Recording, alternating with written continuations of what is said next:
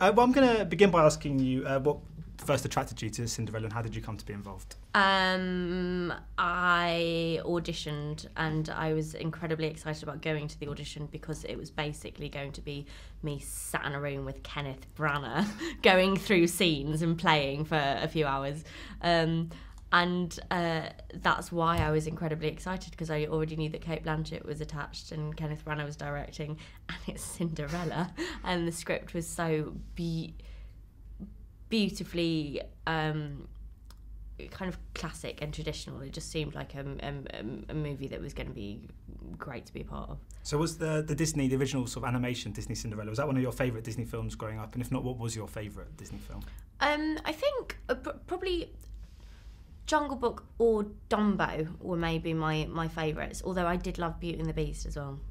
Because ah, there's a Dumbo, they're, they're, rebooting Dumbo. If you, yeah. Uh, you should uh, give your agent a call. you never know. well, yeah. How are they doing? Are they, doing it with real elephants? I'm assuming they'll use a real elephant, or maybe a sort of part elephant, part CGI. I don't know what yeah. they're doing it should be quite good. Interesting. I know. Mm. But um, as for playing one of the, the sort of stepsisters, it allows you to be really kind of over the top, very kind of exuberant. It must have been a, a, role that you had sort of so much fun to sort of play. Yeah, I mean, it was. Um, uh, Ken kind of encouraged us to be silly and to be over the top, and um, I mean, he initially encouraged us to kind of ground the performance in some sort of um, reality for ourselves and um, kind of understand the psychology of the sisters and create a backstory. And then once that was established, it was there was a sense of of kind of play of just push it as far as you can go, be as silly as you can go, and uh, it's fine because we can always rein it in if it's too much. Yeah, it never never seemed to be. Because I mean, the film is so good natured and kind of enchanting, and it's just kind of so charming. I and I was wondering if if that kind of informed the, the atmosphere on set. So when you're making a movie of this ilk, does that kind of playfulness uh, sort of translate into the into the sort of the actors when they're just sort of walking around on lunch breaks and stuff like that.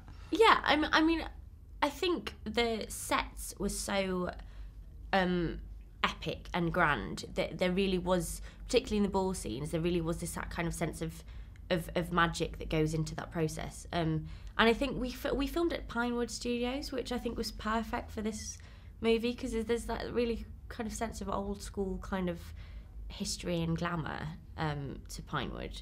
Um, and I think that's kind of what this this movie embodies, and so it did kind of feel feel like a, a magical process.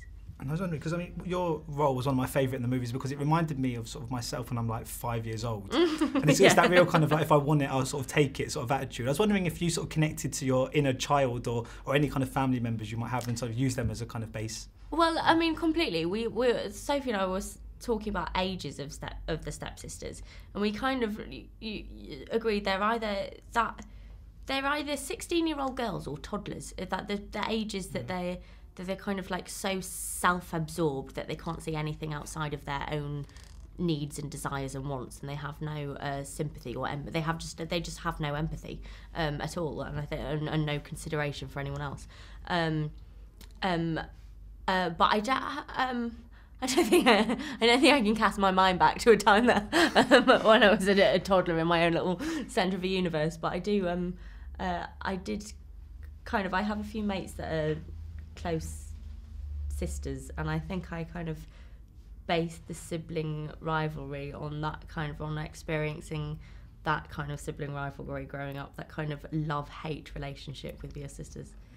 And you were mentioning that. Um it was shot in Pinewood, and it did look mm. incredible. And I was wondering, when you you're in a movie of this sort of ilk, and, and everyone's sort of dressed up and stuff, do you ever forget that you're shooting a movie? Do you ever see Lily and just think, oh, I sort of Cinderella, or was she always still Lily? No, no, no. The first time that I saw her, Lily in the the blue ball dress was I'd seen that I'd seen the dress in. Um, um, in the costume warehouse, but and it was a beautiful dress on a mannequin. But it wasn't until Lily was in it and I, Sophie and I pulled up in our car to see Lily stepping out of the makeup trailer, and it, just it, it was the first time that I kind of hit home of like I'm in a Disney movie. I'm we're making Cinderella because there is Cinderella, and I felt I think I felt more starstruck seeing Lily in the blue dress than I did meeting Cate Blanchett actually.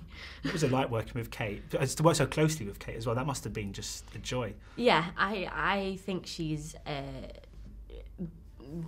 genius actually. she's a phenomenal actor, and um, and just to, so just to have the chance to watch her process and see her work is amazing, and and to be part of that, and um, she brings such um, integrity and, and and truth to a scene that whenever you're in a scene with her, you kind of um, you, you kind of you feed off that. There's no there's no uh, there's no escape. You have to believe believe in it, and you uh, you kind of looking in Cate's eyes in a scene. You, she she is she is in character, and you can't help but kind of be drawn into that with her. Yeah. And as for sort of collaborating with, with Kenneth, I mean, do you think that it helps that he is an actor himself, or has been an actor so many times, that he's kind of able to see things from your perspective? Is he quite generous in that in that regard as a director?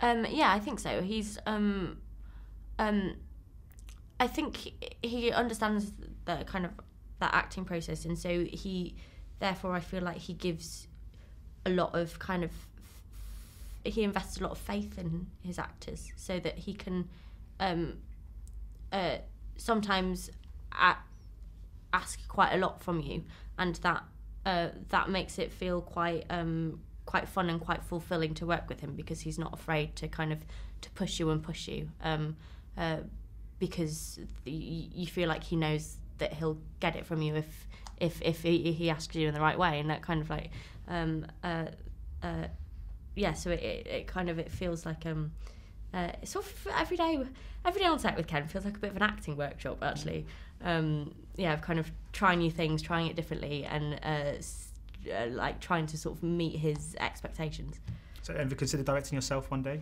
perhaps I used to when I was younger um always think that I would, and now I'm not sure.